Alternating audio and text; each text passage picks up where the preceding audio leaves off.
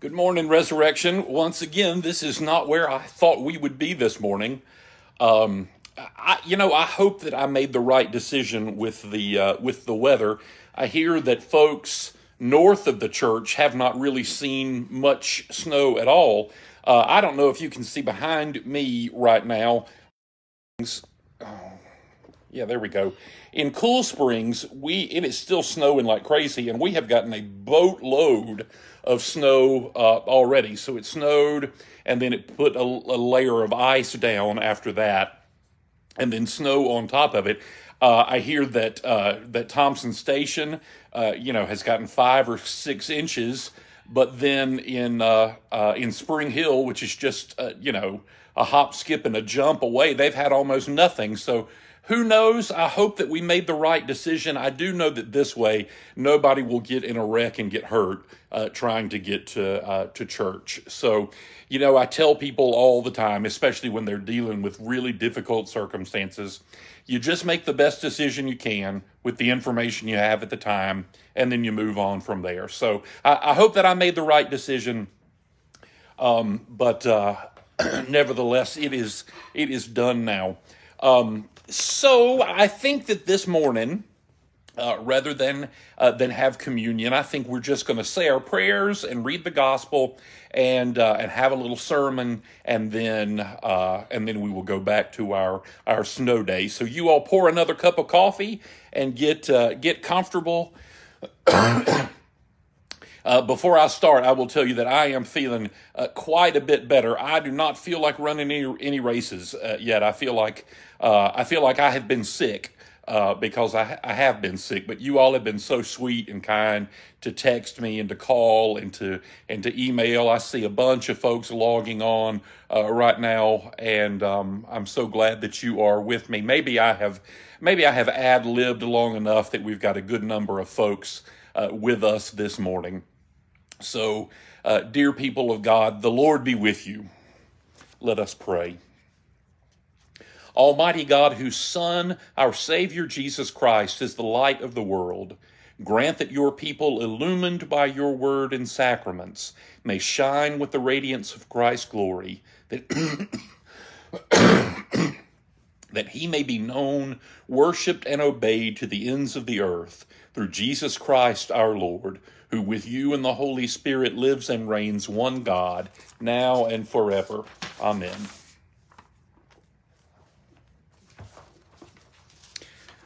The Holy Gospel of our Lord Jesus Christ according to St. John. On the third day there was a wedding in Cana of Galilee, and the mother of Jesus was there. Jesus and his disciples had been invited to the wedding. When the wine gave out, the mother of Jesus said to him, They have no wine. And Jesus said to her, Woman, what concern is that to you and to me? My hour has not yet come. His mother said to the servants, do whatever he tells you. Now, standing there were six stone water jars for the Jewish rites of purification, each holding 20 or 30 gallons. Jesus said to them, Fill the jars with water, and they filled them up to the brim. He said to them, Now draw some out, take it to the chief steward. So they took it. When the steward tasted the water that had become wine and did not know where it had come from, though the servants who had drawn the water knew, the steward called the bridegroom and said to him, Everyone serves the good wine first, and then the inferior wine after the guests have become drunk. But you have kept the good wine until now. Jesus did this, the first of his signs, in Cana of Galilee, and revealed his glory, and his disciples believed in him. Well, I um I used to talk about my seminary at Nashotah House. I used to talk about it a lot in my sermons. I don't do that quite as much anymore, and I, I guess it's probably because it's it's been a while now. It's it's been uh, it's been twenty years. Uh, but Nashotah House, I know that Elizabeth Nash has been at Nashotah House this week. Uh, Elizabeth is working on on a, um, a, a, a theology master's degree from Nashotah House but it, it's just one of the most beautiful places that you've, you've ever seen. It's, it's in the Kettle Moraine district of Wisconsin, and the kettles and the moraines are the landforms that were left behind after the glacier plowed in and then plowed back out. Uh, and so there are a lot of lakes, and Nashotah House is situated in between two beautiful, beautiful little uh, lakes.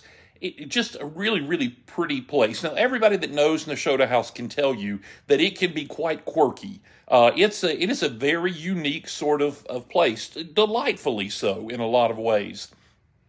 It was also a funny place, and I don't mean funny as in odd, I mean funny as in hilarious. Uh, chapel pranks are some of the some of my favorite uh, memories uh, from Nashotah House. The dean, when I arrived, thought that chapel pranks were hilarious as long as he wasn't the victim of them.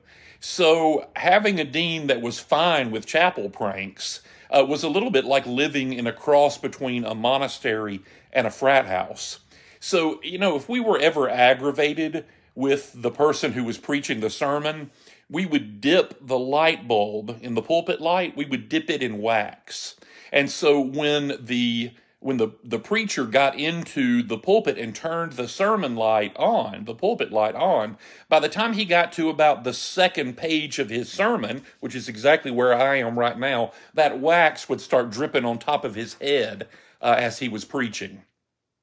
We put goldfish in the baptismal font. Uh, if uh, if a professor had ever given a particularly difficult exam or uh, or something like that and was uh, was celebrating the Eucharist that week, you know, you can put one drop of water on the the paten, the little silver plate. You can put one drop of water on there and put his piece of bread, the priest host, the big piece of bread, put it on top of that drop of water, and within about an hour, it's like super glue, right? You have to have a chisel to, to get it up off of the off of the plate. We did all kinds of things like that. We'd put snow in the bell, the 10 ton bell, Michael. Uh, we would put snow in that bell so that the bell ringer would get buried up to his waist in snow the first time you uh, the first time you rang it. You name it. That's what we uh, that's what we did at at Nashotah House. And then that dean retired, and we got a new dean. Not as big on chapel pranks was the new dean. In fact, he didn't. Uh, he wasn't. He he uh, he wasn't big on a lot of things. Uh, he hated the fact that we rang bells in the Eucharist. You know where where Alex or Bo or or whoever ever will ring the bell when I, I lift up the, the, the bread or the, the wine. Well, he did not like that at all, and so he took all the bells away. Uh, took the bells in the chapel away so that we couldn't do that. And it aggravated us so badly that we, we got to where we would park our cars in the, the parking lot beside the seminary and we would reach into our pockets and every time the celebrant would lift up the bread or lift up the wine we would push the button on our key fobs and so our horns would honk beside the uh, beside the chapel. So instead of ring ring uh, we got honk honk uh, when he didn't like that either. He didn't like that at all now, I don't want you to think about Nashotah House that it was all fun and games. It, it was a lot of fun and games, uh, but it was tough too. I I would pit my theological education against just about anybody. I got a good education at the house. It was pretty old fashioned, and I'm all for that. I turned out pretty old fashioned. That that may be why, but the scholarship was good, and most importantly, I think the preaching was good. There was not really, as far as I can remember, there was not a weak link in the faculty as far as, as preaching went. The homiletics professor, who was kind of the, the preaching expert at the seminary, uh, he is a good he's a good man, and I heard him preach a sermon about this very gospel lesson, the one we hear this morning about running out of wine at the wedding feast at, at Cana and he always used to say that the point of the story of water into wine was do what your mother says. That was the point of the story. So Jesus was at that wedding feast. You know the story. You just heard it. You've heard it a million times before. He was at the wedding feast in, in a town uh, called Cana, which is in Galilee. And the hosts of the wedding ran out of wine. And that would have been terribly embarrassing to folks at the at the time in the biblical period. So Mary comes to Jesus and says, you know, they're going to be really embarrassed. They've they've run out of wine. She felt sorry for the hosts, and that's why she told uh, that's why she told Jesus. And his response was, "Woman," which I understand is actually a very respectful term. Uh, woman, what does that have to do with me? You, that's none of my business. And besides, you know that, that the time has not yet come for me to call attention to myself. Now, Mary does not argue with Jesus. She just looks at the wine steward and she tells him not to leave Jesus' side until he has told them what to do because she knows that he can fix this problem. So Mary then goes back to enjoy the party. Uh, the servants waited by Jesus' side for their next instructions. And eventually, Jesus does just what his mother tells him to do. Uh, he decides he has to do something, and so he told his servants to fill up the huge water urns that they used for purification, uh, right? Those ritual rites of making clean after you become unclean. Uh, and then to take those urns to the steward of the feast. And they did. And when this, the urns got to the steward, they were no longer filled with, with water, but they were filled with wine. And the, re- the reaction of the guests was that it, it was apparently very good wine. And Jesus concludes this story, John concludes this story by telling us that this was Jesus' very first miracle. And by doing this, uh, he manifested his glory and his disciples believed in him. But when I read over the passage again uh, this week, I thought about what my professor had said do what your mother says. And I was struck by something. It seems from reading this story as John relates it that Jesus was determined not to do anything at all about the problem of running out of wine. It wasn't his business, and his time had not yet come. Now, Jesus is God. We, we know that. God from God, light from light, true God from true God. So when we talk about the will of, of Christ, the will of Jesus, we're talking about the will of God. There is only one God. And the will of God was to do nothing about this situation, or, it's, or so it seems to us. That's how the story reads to me. He told Mary that it was none of his business and that his time had not yet come. And he seems pretty resolute in that fact. His mind is made up. But Mary, his mother, had different ideas, and so lowly Mary Mild, the maiden from Galilee, told the King of Kings and Lord of Lords that he was going to have to sit there until he came up with a solution to this problem.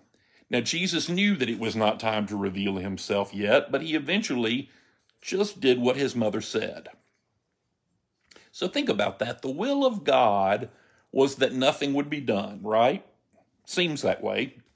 But that's not what ended up happening. So here's the question Did the will of God change?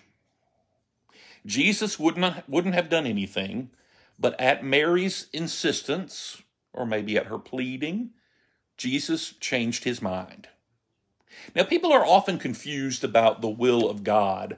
Uh, one of the things that you've heard me say this before, one of the things that bothers me worst in the world is uh, people lying uh, in bed in hospitals, dying of horrible diseases and they, they will say things like, Well, I know that this is the will of God. And my friends, if you never hear me say anything else at all, hear me say that that is not the will of God. The will of God is that this world would be, would be perfect. And this world is not the way that God wanted it to be. God does not will sickness, and God does not will death. In fact, that's why he sent his son to overcome that. And one day that will be overcome. But also, the will of God is not a static thing.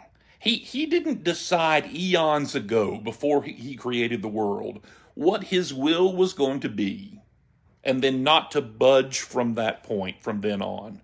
Because God is constantly tweaking and adjusting his beautiful and perfect plan to accommodate for us, to fix all of the things that we mess up all along the way. That's the story of the garden. The garden is what God wanted, but in our sin and our fallen nature, God had to tweak his plan to fix what it was that we had done. And not only does he adjust his will for our sake, but he apparently changes his mind too. That happens all the time in the Bible. It happened in this morning's gospel because of Mary pleading with him. Uh, the people of Nineveh fall on their knees before God. And in the book of Jonah, it says that God repented of his terrible anger, meaning he changed his mind. And he changed his mind because the people of Nineveh pleaded with him. The persistent widow got what she wanted because she pleaded with Jesus. In fact, she got what she wanted because she pestered him. And we've talked about pestering God with our prayers before. She pesters him, and he gives her what she needs. The Bible is full of times when God spared his people, cities, armies, kings, you name it, because he listens to the prayers of his people. And just to, to clarify, there is a word for pestering God over and over. It's called prayer. So, does prayer matter? Is, is prayer worth fooling with? Well, it absolutely is because God listens to the prayers of his children and his mother. Now, I'm not saying that there's any part of the will of God that we can control. We can't. But I am saying that we can never allow ourselves to fall into the trap of believing that God does not listen to the specific prayers of his people, because he clearly does. Tell God what you need. He just wants to hear from you. Tell him. Be specific in your prayers and pray it over and over and over again until you hear very clearly from him. St. Paul says that. He says, Be specific. Let your petitions be known, he says.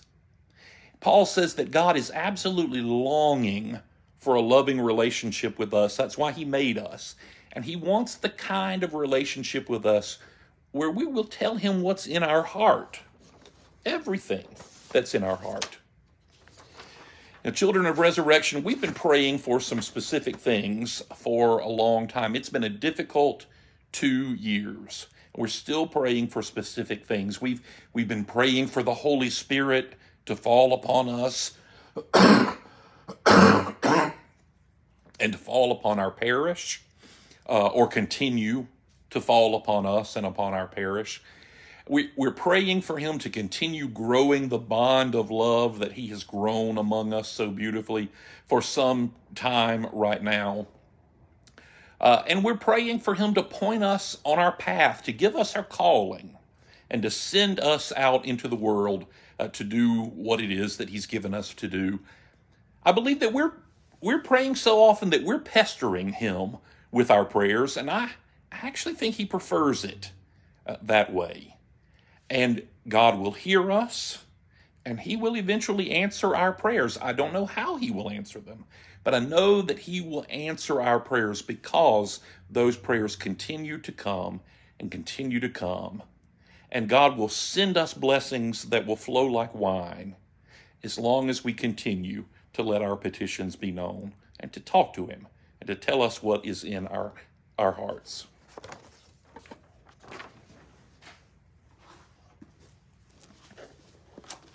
As we used to say in Children's Chapel, let's tell God that we love Him and we believe in Him.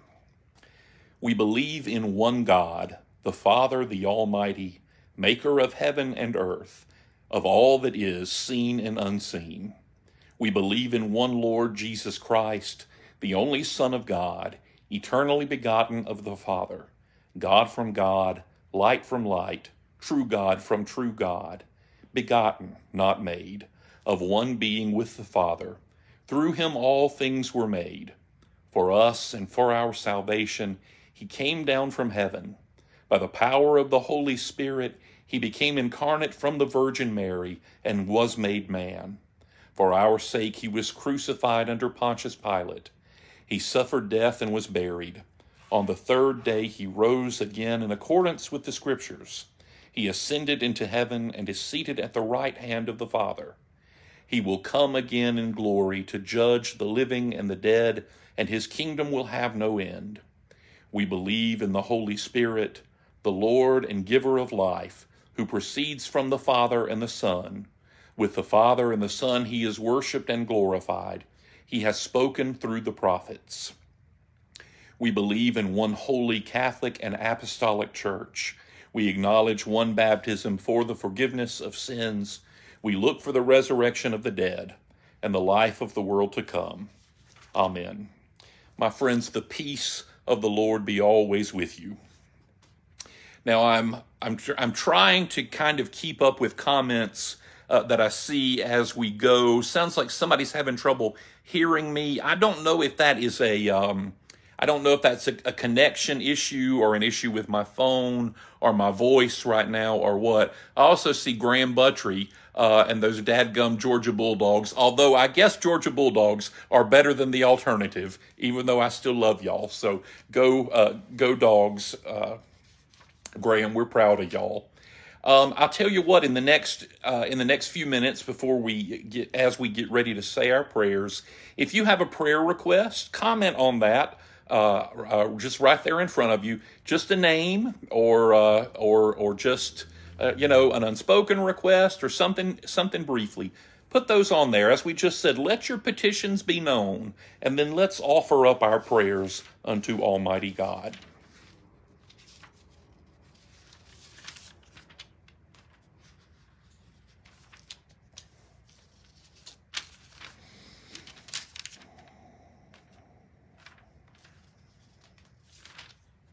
In the words that our Savior Christ has taught us. Let us, let us boldly proclaim, Our Father, who art in heaven, hallowed be thy name. Thy kingdom come, thy will be done on earth as it is in heaven.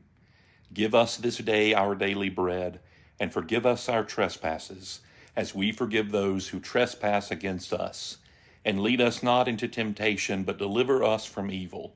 For thine is the kingdom and the power and the glory forever and ever. Amen.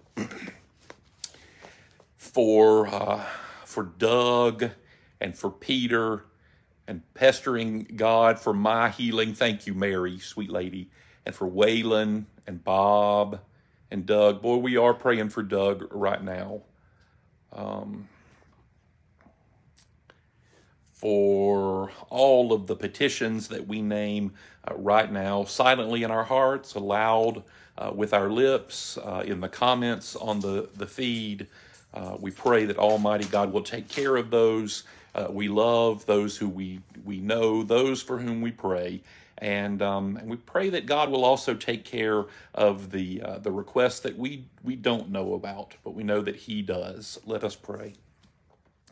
Lord Jesus, I thank you for the good people of resurrection, and I thank you for making us family to each other when you made us family to yourself. Thank you for sending your Son, Jesus Christ, to die for our sins upon the cross. Send your Holy Spirit to fall upon our little church in such a way that we will know him when he comes. Give us a sense of clarity with that thing, those things that you would have us to do. Uh, knit those into our hearts. Give us a zeal for your name and for our ministry, and then send us out into the world to do that. Heal the sick, Lord Christ, and give rest to the weary. Bless the dying, soothe the suffering, pity the afflicted, and shield the joyous, and all for your tender love's sake. Amen. And bless Kim for hanging in there. You have no idea how true that is. Uh, thank you, Mary.